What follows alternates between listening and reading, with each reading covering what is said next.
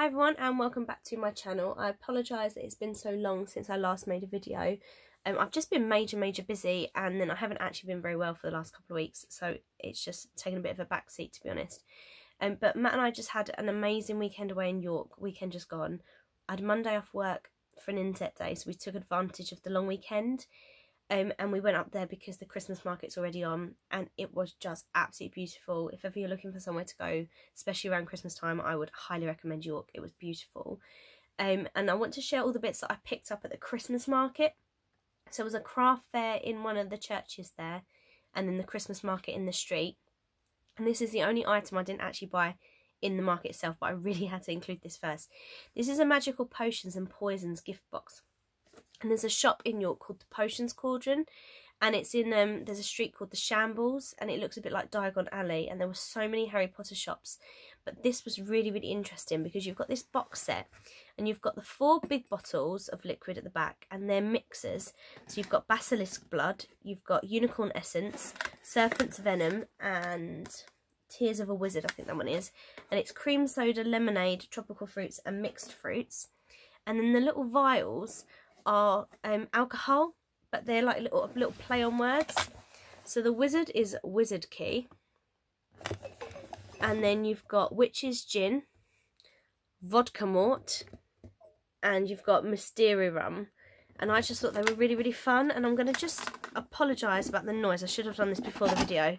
I'm just going to take out one of the big bottles of liquid because they've got a really cool effect. Oh, rather not edit this video if I can help it. Um, so if you look at it like this, it just it's just a plain liquid. But it says if you shake it and turn it up three times, so one, two, three, it makes this just amazing effect. And that will just continue to kind of swirl all throughout the bottle for ages. It just has such a beautiful effect beautiful effect. And this gift set, you could buy the mixers on their own, uh, the four of them, for £10. Or this gift set with the alcohol in it as well was £20. Oh, sorry. And I picked up three of these. One for me, because you know I'm obsessed with Harry Potter and then I picked up another two for both my sisters as part of their Christmas presents. Um, and I thought actually for £20 that's a really beautiful gift box and it's very, very unique.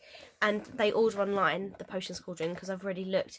They had some beautiful candles. Um, what else did they have? Loads of um, like gift type ideas. It just, it was amazing. So I picked that up and now I'm going to show you the bits that I picked up at the market itself.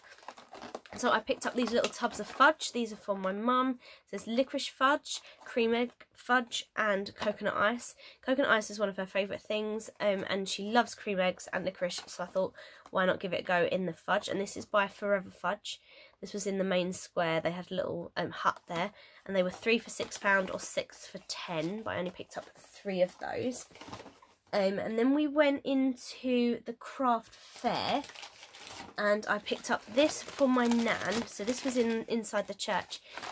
And this cost me £5 and it's a little cup and saucer. It's a bird feeder. So you hang it from the tree. It's got a bit of ribbon here. I'm just like knocking all the, the bird feed out. Um, but you've got all the bird feed in here. And then he said that he's got a little place for the bird to perch on the saucer. My nan loves willow pattern plates. And I know this isn't actually a willow pattern but the colours were very similar. And I just thought that was a really unique little gift. And as I say, for five pounds, that was such such a um, such a cheap price. So I picked that up for her. I'm just popping it back in the bag so I don't get seed all over my bed. Um, I picked up in there these little doggy treat bags. Um, these were, what were these? I think they were six pounds. Um, so you get loads of little dog treats in here but I really liked the bag. So I've got two dogs, um, and I like the fact that there's two little different types of dog on this bag. Um, so I thought they could have this for Christmas. And my sister's got recently a little Dachshund and Jack Russell mix. Um, and he's he's a nightmare, but he's very adorable. He's not quite the same coloration, but he definitely has the sausage dog shape. Um, so I'm going to give this to her as part of her Christmas present because I think she'll really like them putting his treats in here. These things might be a bit big for him, so it might be that I give both sets of these to my dogs and then get him some other little bits. But, do you know, he'll probably have a good go on them, to be fair. And I just thought they're really good and they're really well made, actually. Um, and I'm sure they were £6 each for those little bags.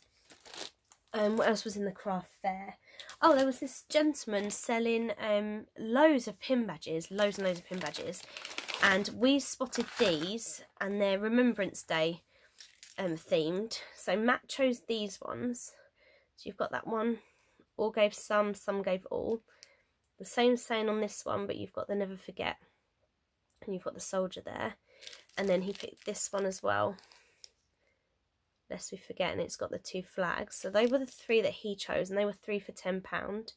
Um, and then I chose this little gift set. It was actually 13 pound but he didn't have all of these colours separately. Um, and I love that. The going down of the sun and in the morning we will remember them. I just thought they were really really lovely badges. And he did have little certificates up on his stall where he does actually then pass a lot of the profit of this onto the um, RNL I was going to say RNLI then and the Royal British Legion so that they obviously can raise the money from these badges. Um, so that were really lovely. And anything else from the craft fair? Um, this scarf from for my other nan. So I got the cup and saucer for one nan. Then for my other nan, I picked up this scarf. It's a really beautiful mauve colour. It's coming up a bit darker on the screen. It's a bit more pink in real life. Um, and these are rose gold but apologies about my lighting because it's night. I can't um obviously I've got to use the the ring light instead of the natural light so it's not really giving you a true colour. That was six pounds that one. And then I think that was oh no one more thing from the fair itself. Um we found this lady. Where's her card? Valentine Pietri, if I'm saying that correctly. Um she had loads of wreaths for sale but then she did this thing called a make your own wreath thing and we thought it was really fun because neither of us have ever made a wreath before. And we thought it would be a really fun idea. So for 15 pounds you picked you got the wreath itself. Then you got to choose one of the bows that she'd made and we chose this one. Matt loves reds at christmas and i think this was the best bow that she had to be fair. Um so it's obviously got the red and the gold. Then you chose three deluxe um ornaments. So we've got this little sleigh here with the holly on it. And we've got this gold rose. And we chose, oh, this was my favourite one actually, these two bells, again in gold.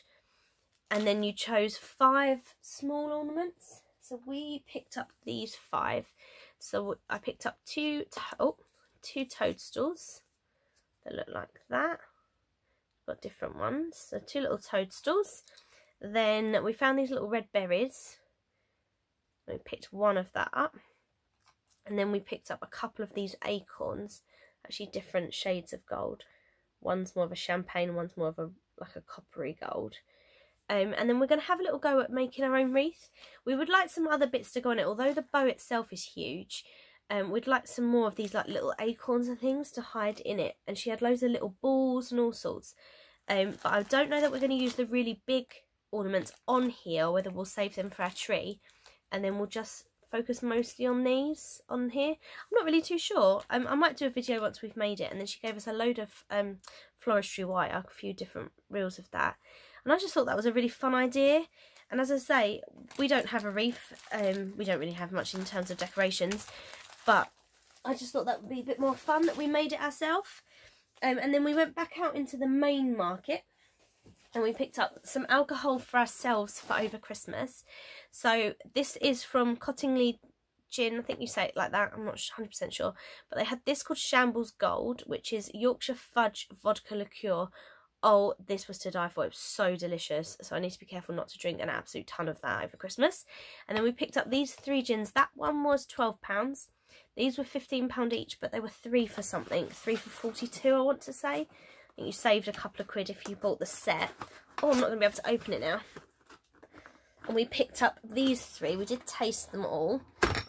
Um, and we each had our favourites. So we both loved this one.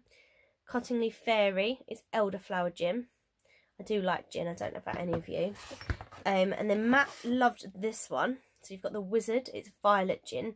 And they had it with um, lemonade on the stall tasted just like Parma Violets. And then if you shake it up, you've got that beautiful shimmer, very much like those Harry Potter bottles. Just absolutely stunning. I love the wax seals on the top. I think they're such a nice touch. And then we asked the man to recommend his favourite for the last one. He recommended this and he did not disappoint. This is plum gin. This is sugar plum fairy, they call it. Um, it's got a little bit of that shimmer in there. But it's all kind of settled at the bottom.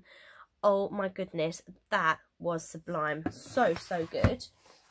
Um, so we got those. And then for Matt's mum, we found a, a stall doing the spin up bits and pieces. So he picked up the motor and I'll tell you the prices individually. That was £15. He picked up a gold star to go at the top and that was also £15. And then he picked up this spiral. It's got the large clear crystal and then the smaller yellow one. And then you hang that at the top with the sun in between and then that at the bottom and it constantly turns it round. But he only charges 40 for the lot because for each second item you once you bought one item, every item after that was £5 off. So um, I'm just checking the time. Sorry, I've only got about 30 seconds left. Um, so yeah, so we got a really good deal on those. And that was it. That was everything that we got from the market itself. And I have to say, go to York. It was absolutely amazing and I really, really enjoyed myself. And um, thank you everybody for watching. Sorry I'm cutting the end very short, but my my memory's going to run out any second.